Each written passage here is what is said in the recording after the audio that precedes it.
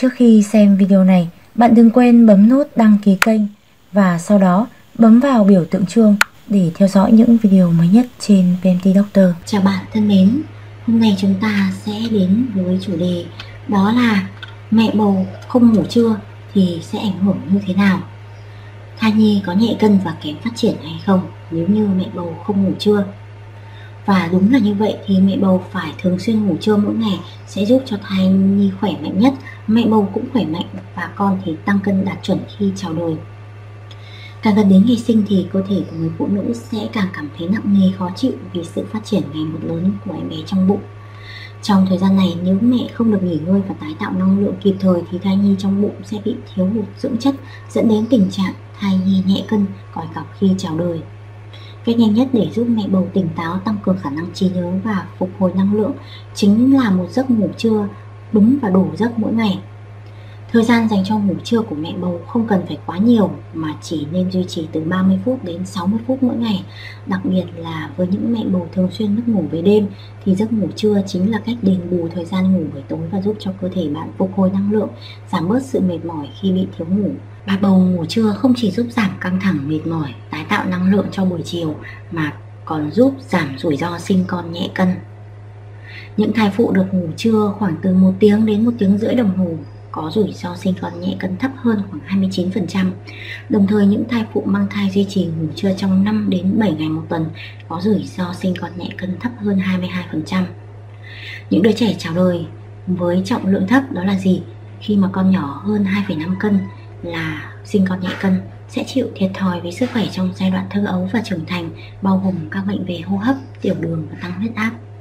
Nói chung là dù là có sinh non như thế nào đi chăng nữa sau này cũng có thể lớn đầy đủ và tốt nhưng cũng sẽ không thể nào bằng được những đứa trẻ nhẹ cân cho nên như vậy để thai kỳ khỏe mạnh thai nhi hấp thu đủ dinh dưỡng thì phụ nữ mang thai phải tích cực dành thời gian cho những giấc ngủ trưa Đặc biệt là trong 3 tháng đầu và 3 tháng cuối, Bởi đây là thời điểm mẹ bầu dễ rơi vào tình trạng mệt mỏi do cơ thể có những thay đổi cả bên trong lẫn bên ngoài. Thời gian tối thiểu cho giấc ngủ trưa của mẹ ít nhất cũng phải là 15 phút, và vừa vừa là 30 phút. Tối đa là từ 30 phút đến một tiếng hoặc là một tiếng rưỡi mỗi ngày. Mặc dù giấc ngủ trưa rất quan trọng, nó chỉ ngắn thôi nhưng mà lại mang đến cực kỳ nhiều lợi ích cho mẹ bầu và phụ nữ mang thai thì cũng không nên ngủ trưa quá nhiều tầm 2-3 tiếng. Như thế sẽ làm ảnh hưởng đến giấc ngủ ban đêm và đảo lộn đồng hồ sinh học. Dù thời gian ngủ trưa không phải là nhiều, nhưng bạn không được lơ là trong tư thế ngủ. Nếu như điều kiện cho phép, không phải vướng bận đi làm, mà điều kiện làm việc tốt hơn thì mẹ nên nằm thoải mái trên giường, hoặc là nếu như mẹ văn phòng thì có thể có giường riêng, thậm chí bạn có thể trải thảm ngủ cũng được kê cao chân lên một chút để tình trạng máu không lưu thông gây sưng phù cơ thể. Ngoài tư thế nằm nghiêng bên trái như tất cả các video mình đã nói, thì cùng với sự trợ giúp của một chiếc gối nhỏ đỡ bụng bầu, bạn có thể dùng chiếc áo khoác gấp lại đặt ở dưới bụng bầu khi nằm nghiêng cũng là tư thế ngủ rất là tốt. Với những mẹ bầu phải đi làm, khó lựa chọn tư thế ngủ hoặc thậm chí là có nhiều áp lực hơn, thì bạn có thể là không có giường ngủ thì cũng phải tìm một chỗ ngồi có điểm tựa ví dụ như ghế dựa văn phòng ngồi tựa lưng vào ghế để chợp mắt nghỉ ngơi. Cùng lắm là 5 10 15 phút chứ không được phép không nghỉ ngơi. Lưu ý ở tư thế này mẹ nên cởi bỏ giày dép, kê cao chân hoặc thả lỏng toàn thân để giấc ngủ được thoải mái. Tuyệt đối là nằm ngửa ra phía đằng sau lưng chứ không nên là ngồi gò thân lại hoặc là gục xuống bàn nhiều hoặc là khi ngồi bạn cũng phải làm sao để cho cái tư thế của mình được thoải mái, tránh tình trạng máu không lưu thông, khó chịu, gò ép vào thai nhi và sẽ làm cho bạn đau đầu. Sau khi thức giấc, mình luôn mong muốn rằng các mẹ bầu sẽ có được những thói quen tốt giúp cho bản thân ngủ ngon. Hãy lập ra thời gian biểu cho mỗi giấc ngủ trong ngày, Cố gắng duy trì để ổn định, cân bằng đồng hồ sinh học. Làm sao ngủ đêm và ngủ ngày cho nó hợp lý Và luôn luôn giữ một giấc ngủ sâu. Chất lượng trước khi ngủ thì cần phải giữ một tinh thần thoải mái, Tránh hoạt động và sức, gây mệt mỏi và căng thẳng cơ thể.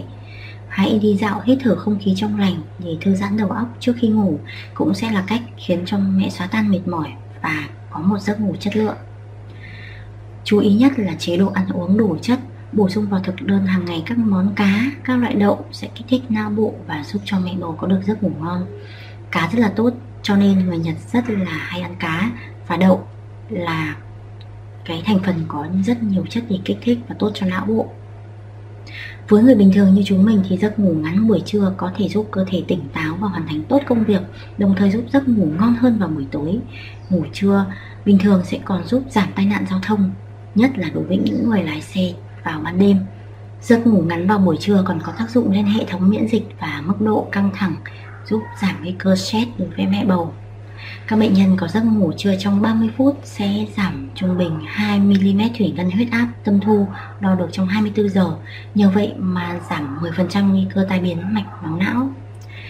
Trọng lượng sinh thấp được xác định là bé dưới 2,5 cân có liên quan đến những hậu quả sức khỏe bất lợi trong giai đoạn thơ ấu và trưởng thành bao gồm các bệnh về hô hấp, tiểu đường và tăng huyết áp.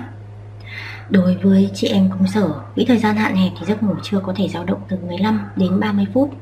Mặc dù khoảng thời gian không dài nhưng mình muốn nhắc các mẹ bầu rằng không được bỏ lỡ thời gian này bởi đây chính là lúc não bộ bạn nghỉ ngơi. Bạn đã phải làm việc căng thẳng cả buổi sáng rồi, buổi chiều là lúc bạn lại phải tái tạo lại sức lao động và bạn còn là một mẹ bầu nữa cho nên điều này sẽ giúp làm giảm nguy cơ căng thẳng mệt mỏi cho chị em trong suốt thai kỳ. Và bạn hãy chú ý giữ thói quen nghỉ ngơi buổi trưa nhé. Cảm ơn các bạn đã chú ý theo dõi hết video này. Xin chào và hẹn gặp lại các bạn trong những video lần sau.